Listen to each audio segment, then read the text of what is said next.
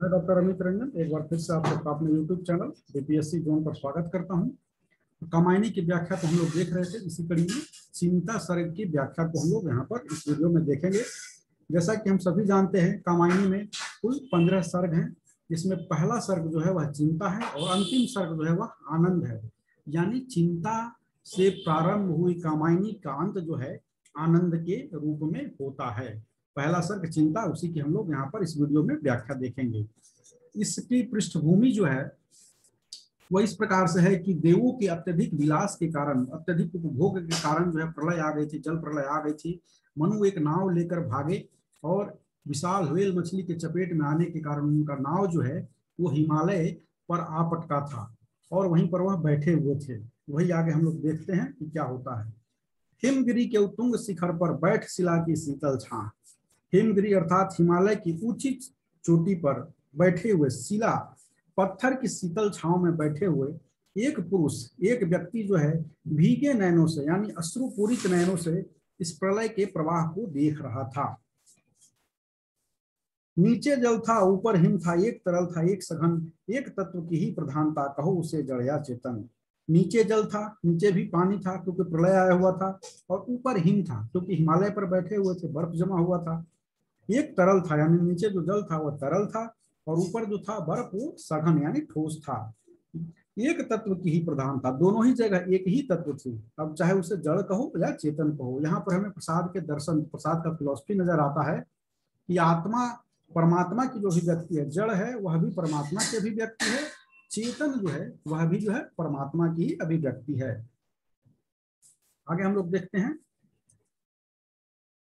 दूर दूर तक विस्तृत था हिम स्तब्ध उसी के हृदय समान, नीरवता से, शिलाचरण से टकराता, फिरता पौमान दूर दूर तक विस्तृत था हिम ऊपर जहाँ तक नज़र जाती थी, चारों ओर बर्फ़ ही बर्फ़ था। और वहाँ ऐसे ही सन्नाटा पसरा हुआ था, ऐसी स्तब्धता पसरी हुई थी वहाँ के वातावरण में। ठीक वैसे ही स्तब्धता पसरी हुई थी, जैसे मनु के हृदय में स्तब्धता थी नीरवता से सी, शिलाचरण से। टकराता पवमान का अर्थ है पवन। नीरवतासी शिलाचरण से टकराता फिरता पवमान। और उन्हीं जो क्या था, वहाँ चारों ओर जो था बड़े बड़े चट्टान थे, पत्थर थे, शिलाएँ भी शांत थी। नीरवतासी शिलाचरण से शिलाएँ भी शांत थी और उन्हीं शिलाओं, उन्हीं पत्थरों के चरणों में जो है पवन, हवा जो है बार बार टक्कर खा रही थी, यानी हवा चल रही थी और उन पहाड़ की बड़े बड़े चट्टानों से टकराकर शांत हो जा रही थी। तरुण तपस्वी सावा बैठा, साधन करता सो शमशान नीचे प्रलय सिंधु लहरों का होता था सकरुण अवसान। तरुण मतलब क्या? नवयुवक। तरुण तपस्वी सावा बैठा। वह जो व्यक्ति था, वह कैसा बैठा हुआ था? वह नवयुवक तपस्वी के समान बैठा हुआ था। और वह जो बैठा हुआ था तो ऐसा प्रतीत होता था कि जैसे किसी शमशान में कोई तपस्वी बैठा हो, किसी चीज़ की साधना कर रहा हो अपने किसी उद्देश्य की प्राप्ति के लिए। वैसा ही मनु जो थे, वह बैठे हुए प्रतीत हो रहे थे। यद्यपि उनका नाम अभी तक नहीं दिया है। और नीचे प्रलय सिंधु लहरों का होता था सकून अवसान। और नीचे जो थी, समुद्र की लहरें गरज रही थी। और वो क्या था? होता था सकरुण अवसान। और उनका क्या होता था? लहरें टकरा टकरा कर नष्ट हो जाती थी। पहाड़ से टकरा टकरा कर नष्ट हो जाती थी। और उनका करुणापूर्ण समापन। सकरुण मतलब करुणापूर्ण अवसान में समापन हो जाता था।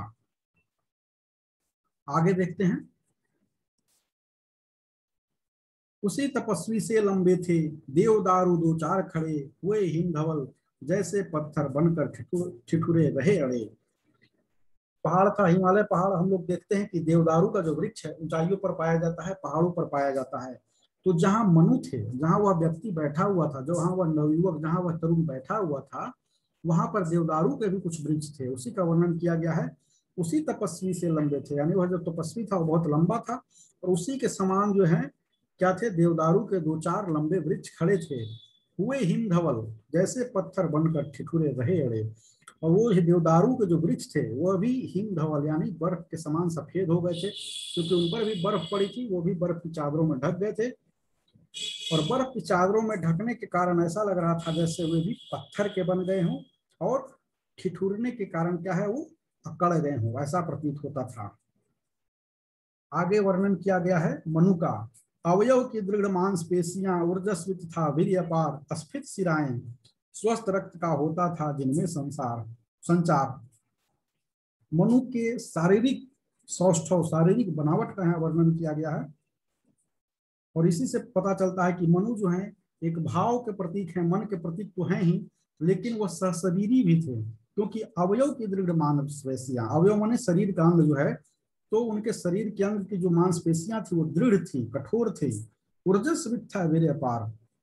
और उनके मुख पर जो था, क्या था, ब्रह्मचर्य की आभा जो है, वह चमक रही थी, वह ऊर्जा प्रदान कर रही थी। अस्फित सिराएँ, यानी कि चौड़ी, खुली हुई, उभरी हुई सिराएँ थी, वेन्स थे, और उनमें क्या होता था, स्वस्थ रक्त का होता था, जिनमें संचार। और उन चौड़ी सिराओं में स्वस्थ खून का संचार होता था, उसमें स्वस्थ खून बहता था।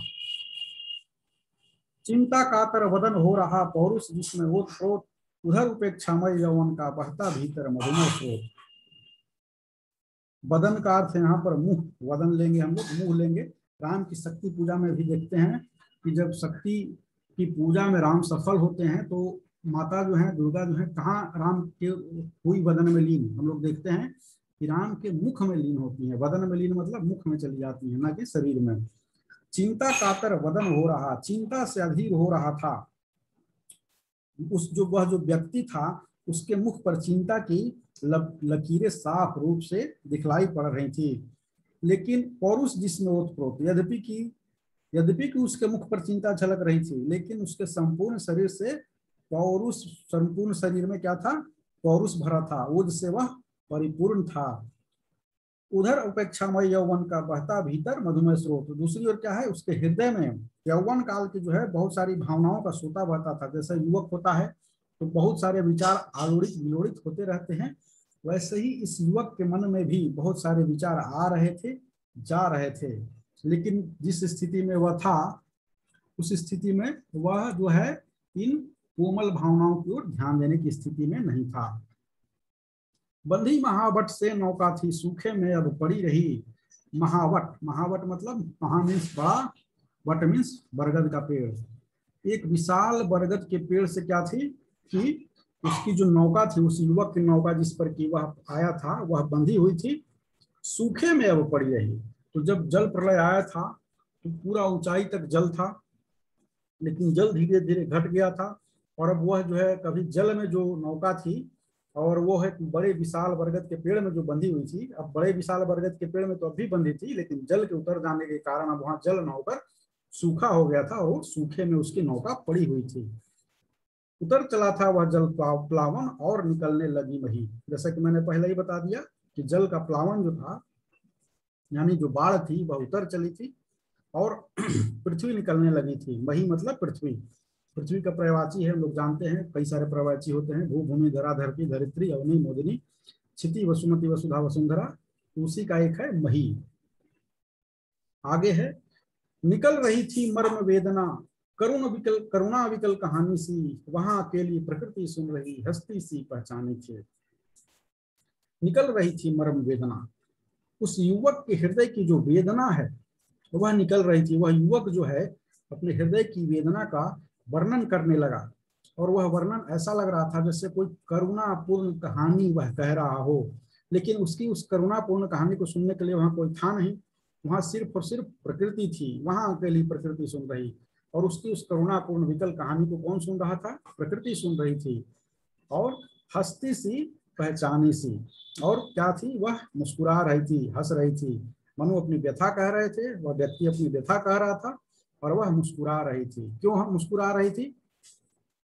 क्योंकि तो इस व्यथा का जिम्मेवार जो है, मनु की इस स्थिति का जिम्मेवार वह स्वयं थे। इस वीडियो में इतना ही। आगे की वीडियो में हम लोग चिंता की व्याख्या को जारी रखेंगे और चिंता की संपूर्ण व्याख्या को करने का प्रयास करेंगे। धन्यवाद।